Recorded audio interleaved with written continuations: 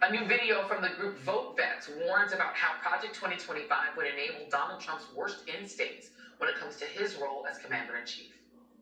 If one were to write a credible roadmap to transform our democracy into a dictatorship, this is what it would look like.